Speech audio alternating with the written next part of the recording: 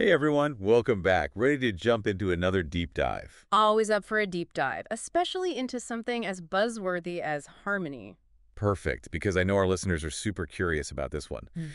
Blockchain is the word on everyone's lips these days, right? Yeah, And Harmony keeps popping up in conversations about where this tech is headed. totally. And it's not just hype. They've been quietly building something really interesting over there. So let's cut through the noise. We're going straight to the source. Harmony's 2024 Ecosystem Report. Fresh off the digital press. No better place to get the inside scoop. Exactly. So Harmony calls itself an open blockchain. Pretty standard so far. But then they hit us with these words. Data sharding, fast finality. Have you heard those terms before? Ringing any bells? Oh yeah, definitely. Actually, those are two of the things holding blockchain back from, you know, really taking off. Really? Okay, so break it down for us. Data sharding first. What's that all about? Imagine like uh you're at the grocery store, right? Long checkout line, everyone's waiting. Sharding is like splitting that one line into a bunch of mini lines that all move at the same time. Okay, so faster checkout, I like it. Yeah. But how does that work with blockchain? Well, with blockchain, those lines are actually chunks of data. Instead of processing everything in one massive chain, sharding lets Harmony handle transactions simultaneously, way faster. So it's all about speed. Exactly, and that's super important if we want blockchain to be practical for everyday use, not just, you know, theoretical tech stuff. Which brings us to fast finality. What's that about? Fast finality is like, think about when you swipe your credit card. Sometimes you have to wait for that little approved message, right? Fast finality is like getting that approval instantly. No waiting around wondering if your transaction went through. Ah, so it eliminates that uncertainty. Yeah. I can see why that's a big deal. It's huge for user experience, and Harmony's making big promises on this front. Yeah, they're not afraid to aim high, are they? The report talks about wanting to boost blockchain use from like 1% to way more widespread adoption. Ambitious. But, you know, they're putting their money where their mouth is. They're on a hiring spree, looking for top-notch engineers, the kind who eat, sleep, and breathe code. Sounds like they're gearing up for something big. It definitely gives off that building a plane while falling energy, which honestly is kind of exciting. I know, right? It's like controlled chaos. And in the fast-paced tech world, that's often where the magic happens. Totally agree. This isn't a company content with playing it safe. And every great company needs a strong team leading the charge. Speaking of which, the report mentions Stephen Tse, Li Zhang, and Nita Neo as key players. Definitely names to watch in the blockchain space for sure. Their expertise is really shaping Harmony's direction. But here's what I find really cool. They're not just about the tech. Harmony seems incredibly focused on community. They highlight validators, members, even listeners like you and me as being part of their journey. It's refreshing, isn't it? It feels like they're building something open and accessible, not some exclusive club. Totally. It's that kind of transparency and community focus that could really set Harmony apart. But we'll dive into that more after a quick break. Stay with us. It really is. And you know what else is cool? They're actually putting that community power into practice. How so? Tell me more.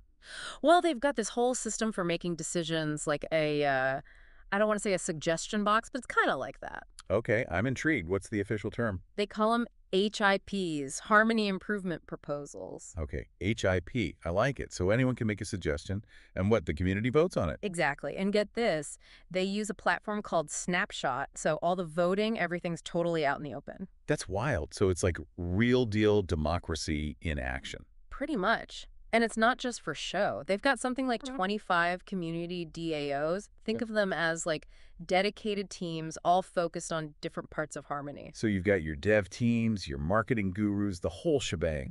Yep. All contributing, making decisions. It's a really active community. Wow, that's impressive. But, you know, it's one thing to have a cool community and big ideas. It's another to actually, you know, get stuff done. True that. So let's look at the receipts. The report lays out Harmony's timeline, all their milestones, and man, they haven't been slacking off. Not even close. They hit the ground running with their mainnet launch back in 2019. I mean, they haven't slowed down since. Okay, so walk us through it. Mainnet in 2019, then what?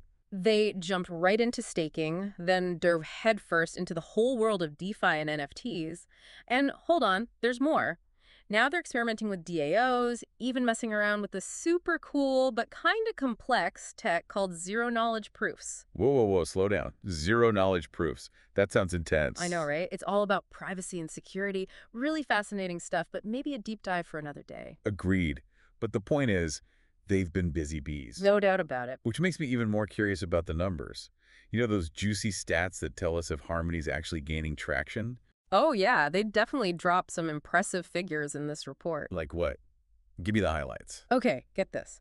8.05 million addresses, a whopping 802 million transactions, and hold on to your hats, billions, with a B of dollars in stake tokens. Wowza. Okay, that's not just window shopping. Those are some serious commitment numbers. Exactly. This isn't just a bunch of curious onlookers. People are all in on Harmony. Okay, that's super interesting, but I know it's not just about the raw numbers, right? Yeah. There's got to be more to the story. You're right. We've got to dig a little deeper. Look at the bigger picture. Exactly.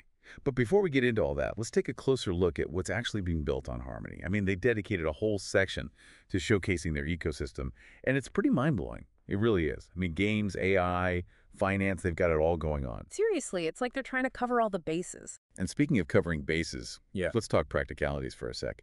If someone's listening to this thinking, okay, Harmony sounds cool and all, but how do I actually keep tabs on it, see if it's as good as it sounds? What should they be looking at? Good question. The report actually points to a couple of really useful resources for that.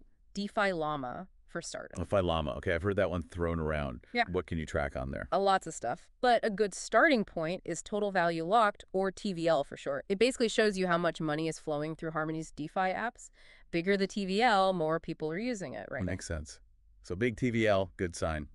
What else? Trading volume, another key metric, shows you how active things are on their decentralized exchanges. And of course, user growth is always a good one to keep an eye on. So it's like checking the vital signs, making sure the ecosystem's healthy. exactly. But even with healthy vital signs, there are always potential hiccups, right?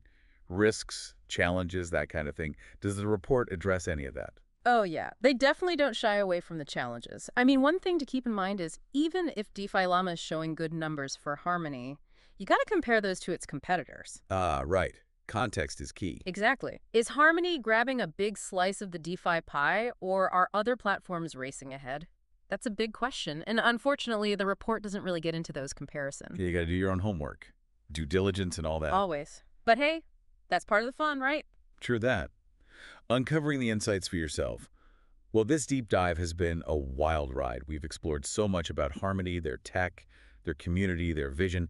It's been fascinating. I'm exhausted in the best way possible. Me too.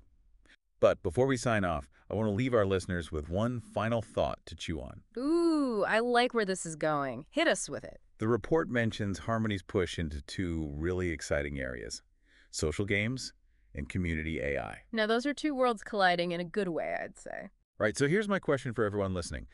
What do you think a future where social gaming meets AI, all powered by Harmony, what could that look like? Ooh, good one. The possibilities are endless. Right. Uh, while we don't have time to unpack that fully today, it's definitely something to spark those brain cells. Be sure to check out Harmony's 2024 Ecosystem Report for yourselves. We'll drop the link in the show notes. And while you're at it, let us know your thoughts on social media too. Until next time, happy exploring.